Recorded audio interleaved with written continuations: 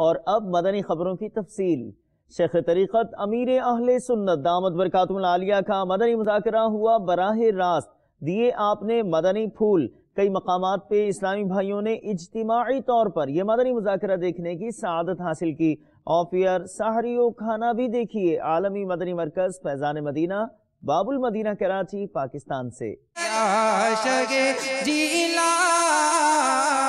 या शगे जीला मदद कर या शगे जीला या शगे जीला सुल्तान विलायत वलियों पे हुकूमत शहबाज खिताबत मेरा सवाल यह है कि ग्यारहवीं शरीफ की हकीकत क्या है वो बयान कर दीजिए। सैदना हुजूर गौस आज़म रहमत अकरम माए फ़ाखिर रबी आखिर।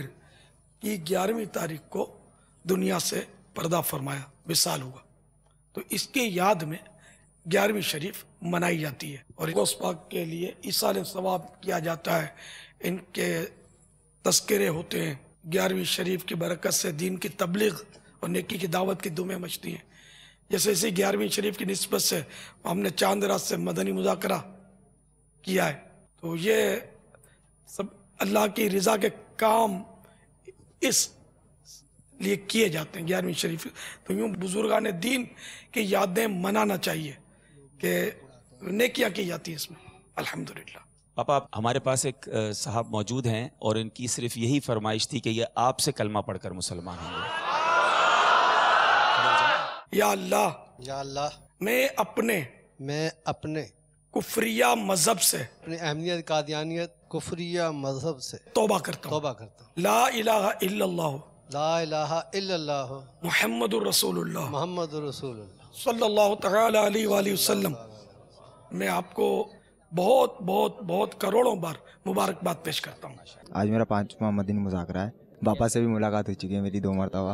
अलहमदिल्ला मैं स्टार्ट से ही मुजाकरे देख रहा हूँ मगर आज का मुजाकरा थोड़ा सा कुछ ज़्यादा ही मुख्तलिफ़ था कि इसके अंदर एक एक शख्स को इस्लाम में दाखिल करते हुए देखा, फिर इसके बाद दो सौ बीस के इस्लामी भाइयों ने अपने गुनाहों, सबका गुनाहों से तौबा करी। तो इससे भी एक नई चीज़ जो है ना मैं सीखने को मिली। बहुत फैस आया, बहुत मज़ा आया। मैं बहुत बीमार भी था, मैं हेपेटाइटिस का था, मरीज़। अल्लाह ने मुझे बहुत शफा दिया और बाबा का फैस लिया। मैंने तावीज़ात अतारी से लिए। मुझे बहुत फैस मिला। मजाकर में शिरकत किया बहुत सुकून मिला है। इतना सुकून मिला है कि कुछ बता नहीं सकता। पहली दफ़ा आया हूँ और आज माशाल्लाह बहुत अच्छा लगा मुझे और बापा जान से बहुत फैज़ हासिल हुआ। इतने सुन्नत है मेरे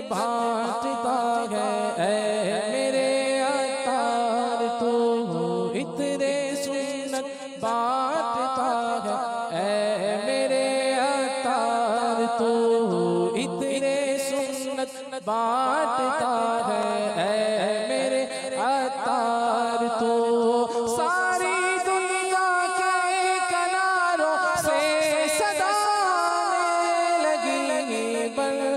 चुका है आशिकों का काफिला सालार तो बन चुका है। आशिकों का काफिला सालार तो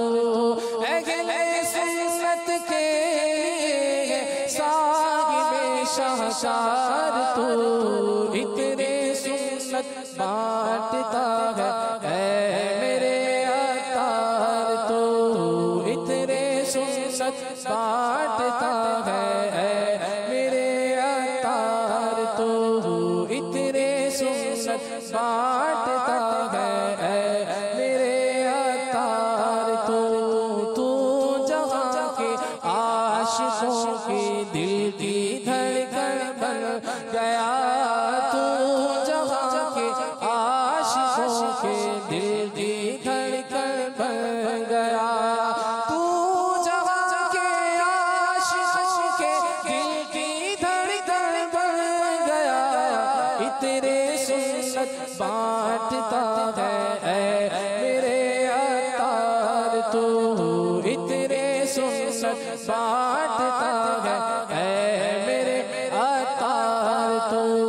पापा आपसे सवाल ये है कि ये इरशाद फरमा दीजिए कि मुजद्दिद किसे कहते हैं? इसकी तारीफ़ बयान फरमा दीजिए।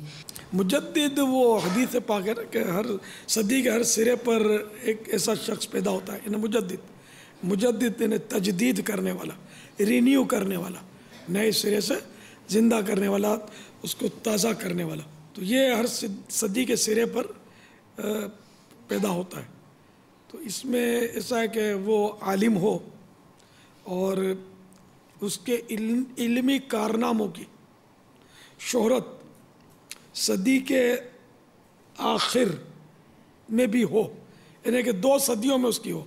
एक सदी के आखिर में एक सदी के इब्तिदा में। ये होना ज़रूरी है उसके लिए। उसकी शहरत, उसके इलमी कारनामों के अतबार से।